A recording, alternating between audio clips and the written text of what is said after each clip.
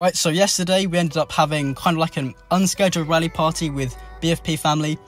Uh, we just found a bunch of targets together at the same time, which is quite uncommon because the kingdom we've been in has been dead for about the last few days because all the big guilds migrated out when we killed everything. So we ended up zeroing three targets and burning another one. Here's one of the players who rallied. He's uh, about 1.3 billion might. I believe he's in monster gear. I haven't checked the gear at this point.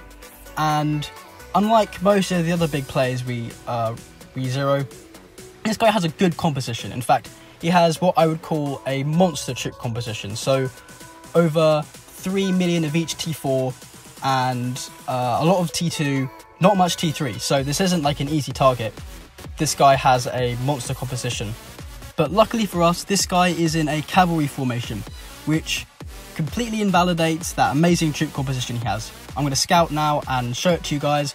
But yeah, if I haven't already made it clear in my previous videos, if you're in a cavalry formation, doesn't matter if it's cavalry phalanx or cavalry wedge, that puts you at a massive disadvantage because range rallies will do more damage against cavalry formations than any other counter in the game. We came in and started our rally a bit later, so all the big guys, I mean from the Titan guilds, have started range. We started infantry, assuming that they'll take out the front line first. So Howl of Shan and LQ are going to march first because they have the max range stats. Howl of Shan hits him and the drop on the first hit is about 104 million might, which is exactly what I mean about cavalry formations being terrible. LQ is going to hit him next and drops him about 80 to 90 million and then SSM is going to march right after.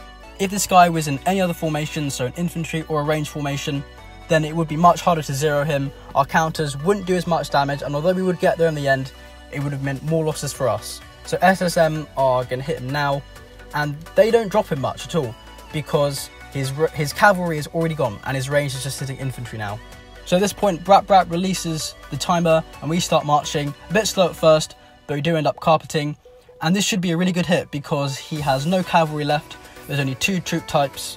Even though this guy has no cavalry left, because of how high his T4 count is, he's still going to be able to do a ton of damage to our rally and we might not walk back but luckily Brat does burn him and walks back with Siege. Unfortunately, if you look at the report, he's in Cavalry Wedge, which means that our infantry rally hit into his infantry instead of hitting his range, so we don't get nearly as good a hit as we would have had. Of course, because Cavalry Wedge is a slightly better formation than Cavalry Phalanx. Guys, it's only slightly better, so don't take that as an excuse to start using it. Because it is slightly better, if he was in cavalry phalanx, those first range hits would have done even more damage. It might have even burned him. As you can see, L58 carpeted right after us to get the second burn, and then ME walk afterwards. Xingyu is sending range here, which is a bit weird. Uh, probably he was supposed to uh, be in the first round of rallies. I guess he's set late. Uh, normally, if this was cavalry phalanx, him sending range would be bad for him, because he'd be hitting into infantry in range. But now this guy only has range left, so it's okay. People are already sending solo marches and burning this guy, but now Zabuza is walking in from the left with an infantry rally about to finish him off, and that's exactly what happens. Zabuza gets the leader. So just to recap, this guy had a pretty good composition, in fact it was a very good composition, but his downfall was that he was in a cavalry formation. Maybe it was deliberate, maybe it was just accidental. But anyway, if he was in infantry or even range, uh, I'm not sure these guys would have even tried it, given how many rallies that he would have taken to break. I'm going to go over the detailed report of that hit now in just a sec. As you can see, we hit into infantry and range, which is why we were able to walk back. But unfortunately, because it was infantry against infantry, we didn't do that much damage, so it was kind of disappointing. We would have got so many more kills if he had been in phalanx. But now we're going to move on to the next target. This guy is also 1.3 billion might and has a pretty good composition, so I can't explain how he burns so easily. He, he looks kind of like an infantry reinforcement trap, but his front line is huge, he doesn't need reinforcements at all. So this guy is in range formation, turns out to be range wedge. We set leaderless infantry, LQ set range with a leader, because that will do a lot of damage considering that he's in range wedge and he's an infantry reinforcement trap. So, well, uh, infantry reinforcement trap like composition so range will do a lot of damage here. So we walk first. As you can see, when I click on this guy's profile, he's in gathering gear and he only has 47 million kills, so you can tell he's a farmer right there. Our rally does decent amount of damage considering the composition, That's nothing compared to LQ's rally next.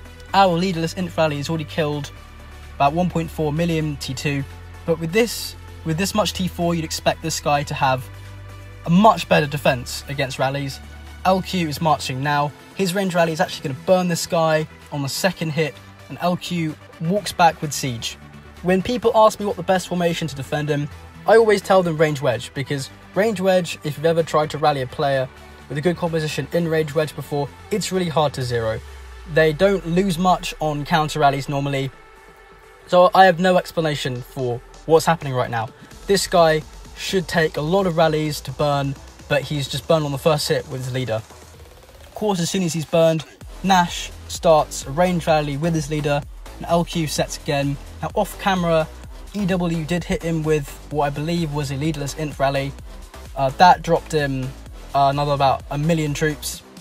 So on a scout after those rallies, I, I don't know if this was before or after EW's leaderless rally, but you can see that his troop comp has taken a huge beating. He does not have enough T2 anymore to be able to effectively eat rallies, so the next two hits are going to be massive. Originally, we were kind of going to walk first, but then LQ launched and carpeted right in front of us. We're going to see this right now. We're like four seconds away from hitting, and then BSC launch, carpet, hit first, get the huge hit, and then we hit second. Our hit is still pretty nice. We've got almost 100 million drop there. Uh, this guy shields right after. Guys, what is it with people shielding right after they've either been zeroed or hit really badly? Because I mean, like, if they'd logged on a minute earlier, they would have been fine. But no, this guy's luck sucks. So in this rally party, there were two other players that we zeroed. I am going to uh, include the, uh, the first target we zeroed in the rally party now at the end of the video, and I'll save the other zero we got for another video because I think that that one's a pretty special video and I want to kind of have its own video with its own explanations of what happened. So we're rallying this guildless guy with no anti-scout, Victor. There were like about five rallies on this guy. His composition You'll see it when we hit him because we hit first. His composition is almost an infantry reinforcement trap because he hardly has any T2 infantry. But yeah, just a couple million uh, T4 and then just mainly T2 cavalry in range. So everyone's rally was range. No one kind of wanted to walk first into that infantry front line, but then another guild does start marching, so we march after them, but then they cancel. And that's really bad for us because we're going to hit that infantry, but somehow we still managed to burn him.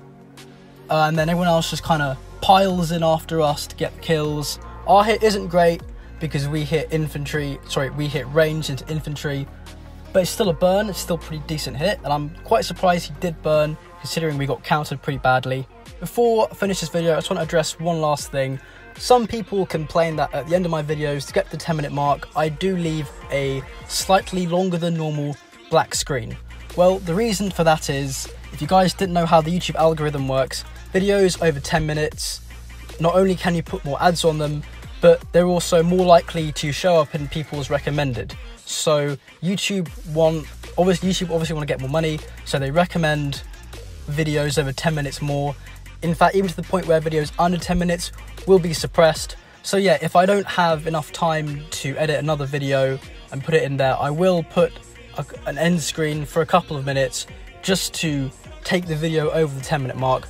I don't really see a problem with it. I don't really see why it offends people. but yeah, I just wanted to clear that up in case people didn't understand why. Hope you guys have enjoyed this video. At the time of making this video, we have already migrated to a new kingdom, and this is a very exciting migration. You guys will see why very soon. Thanks for watching and see you next time.